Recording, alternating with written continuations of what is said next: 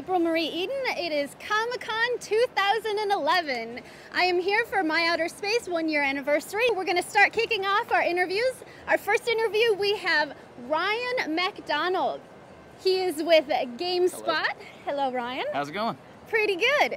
Now, my question to you is tell me a little bit about all of these movie games I see coming out. Yes, uh, one of the more recent ones you probably saw come out was, uh, of course, for Green Lantern, which just hit for the Xbox 360 and PlayStation 3.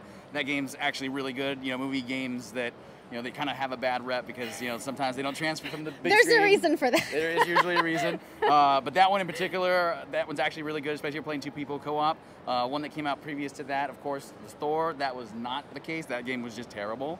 Um, and then they're showing a lot of stuff off here. One of the ones that we got to see yesterday actually was uh, for Voltron, Defender of the Universe. So anybody that's around my age group or your age group probably remembers the five lines that form like Voltron and make a big giant robot that has an awesome sword and cuts robies. So uh, yeah, Voltron was a good one that we saw. Cool. Now, what is it, just to get kind on kind of a little more of the development side of, of video games sure. and stuff, what is it that is the big trend right now? Like, you know, first person shooters, like RPGs, like what is it that is selling that people are kind of gravitating to at the moment? Uh, sequels, particularly the, the third game, that's what we've been joking, 2011 is the big year of. So Battlefield 3, yeah, uh, yeah so ba- you got Battlefield 3, Modern Warfare 3. Yeah. Um, there's a whole bunch of them coming out that are all threes this year, so that yeah. seems to be one of the trends. But obviously, uh, motion control games, they've been kind of one of the things pushing for a while. So okay. Kinect Star Wars is another game they have on the show floor that's a big yeah. one.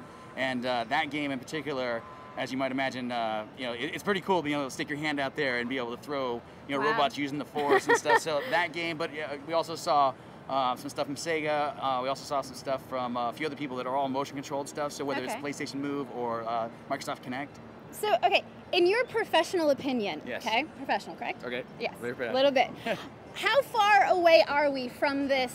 You know, we've all seen it, the virtual reality. You put the thing on your head. We can do it a little bit here and there. Yeah. They got a system out right now that's sort of similar, but all the games are kind of like jump over the bubble. Right. You know? How far are we away from actually getting, you know, Super good? immersed? Yeah. Um, the closest we've got right now are, are, games that use motion controls and 3D. Mm-hmm. So like games like Killzone 3. Um, Yeah. One of the games that we also saw was uh, uh, House of the Dead Overkill for the PlayStation 3 that's coming out, and Yeah. uh, that game's going to be in 3D as well. The neat thing is when you're wearing 3D glasses, Yeah. and you get that kind of like mental tick that, that kind of like allows you to feel like you're a little bit there, uh, mixed with the actual hand-eye coordination that you use when you're like pointing a gun and shooting with the motion Yeah. controller stuff.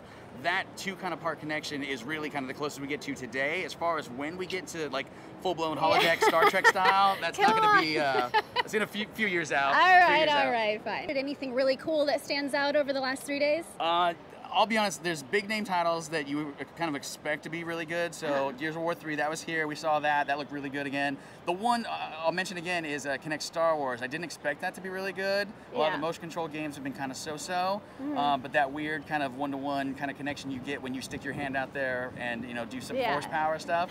That game's awesome. That's so cool. I Um, wanna do You that. You got to try that game. Is It's that good. out, or- It is not out. It's coming out Gee. uh, yeah October. But if you if you get to the show floor before they close, you'll be able to get your hands on it. Yeah, try it. You- sounds like you know, fun. At least you'll stand nine feet away and move your hands and it'll work. So. Actually use the force. Yes, All right, actually so use the Force. I, I'm, I'm hoping you guys caught that because I hope that game does really well because I want there to be sequels and forever. Totally. Captain America, you were asking about movies and comics Yes. and games and, and all Yes. that stuff. Captain America, obviously, I think opened up, what, today's Friday? So Uh, that- sa- yeah, sure. Today's Saturday, Friday, whatever it is. Captain America just opened either way, and uh, that movie is uh, awesome, and the game is actually pretty good as well. So there's another good cross Cool. between the two. All right, I'm going to take your word for it. All right, so. check it out. All right, everybody, thank you. We have a lot more interviews to go. We're going to go see who all's here and what's going on here at Comic Con.